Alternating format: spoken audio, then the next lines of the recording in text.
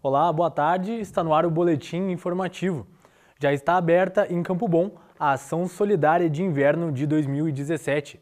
A comunidade é incentivada a doar agasalhos para ajudar famílias carentes do município. O repórter Marcelo Teles conversou com uma das coordenadoras da campanha. Confira. Com o inverno se aproximando, os dias estão ficando cada vez mais frios aqui na nossa região.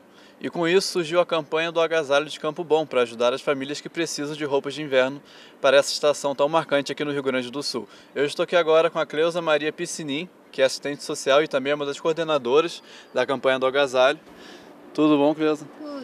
Cleusa, é, como é que se faz para fazer essas doações em Campo Bom ou aqui na região do Vale dos Sinos? Olha, nós temos um número para a Defesa Civil, né? Aí dá uma ligadinha para lá. Ou nós temos os, em Campo Bom a gente tem os postos de coleta, que são em todas as UBSs e todas as escolas do município, assim como todos os órgãos públicos. A prefeitura também tem as suas caixas de coleta, né?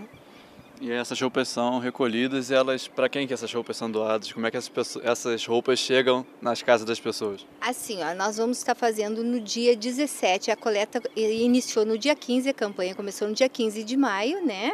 É, a, coordenação da campanha está pelo nosso secretário, seu Eduardo Emílio Asma, né, que é o secretário de Desenvolvimento Social e Habitação, né? E aí no dia 17, que é num sábado, a gente vai estar fazendo a entrega para a comunidade. Como vai funcionar? vai ser assim das uh, ah, 8 da manhã, perdão, 9 da manhã às 16h30 e assim a pessoa vai lá, a pessoa que gostaria de receber vai lá com documento, né, com foto, uh, comprovante de endereço, né, vai preencher uma fichinha e vai ter de 15 a 20 minutos para fazer as escolhas das roupas que ela necessita. Né? Então vai ocorrer nesse sábado. Se é, houver sobra, se tiver mais material, nós pretendemos fazer um próximo evento em julho, então. Então, na realidade, a campanha vai desde 15 de maio até julho. Vai ficar o inverno inteiro aí, então. É, e essa campanha, é, vocês esperam ajudar em média quantas famílias? Assim, tem um número que a pessoal de Campo Bom fala pra, de pessoas a serem ajudadas? Olha, não exato, exato não temos, porque a gente não tem assim uma base que é, é, essa é uma nova gestão, né? As gestões anteriores faziam, mas a gente não tem uma base. Então assim, mas a gente pretende alcançar o maior número possível. Né? E porque assim o ano todo a gente sempre faz o repasse das doações que a gente recebe. Então na realidade isso vai ser uma campanha, mas a gente sempre está alcançando para quem dela necessitar. É isso que é bom. Obrigado, Cleusa, pela sua participação. Então, gente, tem muita gente precisando, vamos ajudar, por favor. Eu sou Marcelo Teles para a TV Fevale. Obrigado ao Marcelo Teles e lembrando, a Defesa Civil também está ajudando no recolhimento das doações com agendamento prévio pelo telefone 3597 3683. E a Universidade Fevale está realizando a décima semana do meio ambiente. Durante o evento estão acontecendo várias atividades abertas ao público. Para amanhã está prevista uma feira de doação de animais promovida pela Prefeitura de Novo Hamburgo. O evento acontece no estacionamento do Campus 2 da Fevale, das 5h30 da tarde até as 7h30 da noite. E você, gosta de português, inglês ou literatura? Conheça agora um dos 48 cursos que a universidade está oferecendo neste vestibular. Jonas Soares nos traz mais informações. E a Universidade Fevale já está com as inscrições abertas para o vestibular de inverno e hoje nós vamos falar sobre o curso de letras e recebemos para isso a professora coordenadora do curso, Valéria Zanetti. Professora, fala um pouquinho mais, um pouco mais sobre esse curso de letras oferecido aqui pela universidade.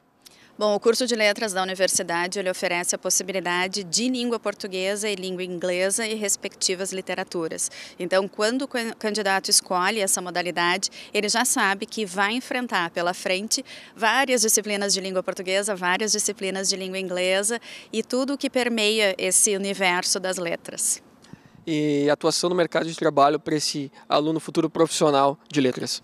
Ele não está mais vinculado exclusivamente ao ensino de fundamental e médio em escola, seja pública ou seja privada. Hoje em dia a gente tem vários egressos que abriram a sua própria escola de idiomas, que trabalham em grandes editoras como revisores de publicações e ainda aqueles que foram para outros destinos como mídia, seja ela em televisão, em jornal, como revisores, como elaboradores, inclusive para jogos, na parte de jogos digitais, como elaboradores dos roteiros e das histórias.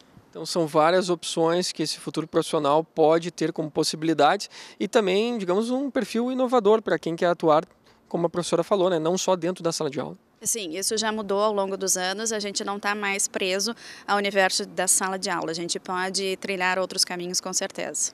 Tá certo, professora, obrigado pelas informações. E lembrando que as inscrições para o vestibular de inverno vão até o dia 21 de junho. E para se inscrever é só acessar fevale.br barra vestibular ou para mais informações ligue para o telefone 3586-8800. Eu sou Jonas Soares para a TV Fevale. Obrigado ao Jonas Soares e o boletim informativo de hoje fica por aqui. Nós voltamos amanhã. Uma boa tarde para você, tchau!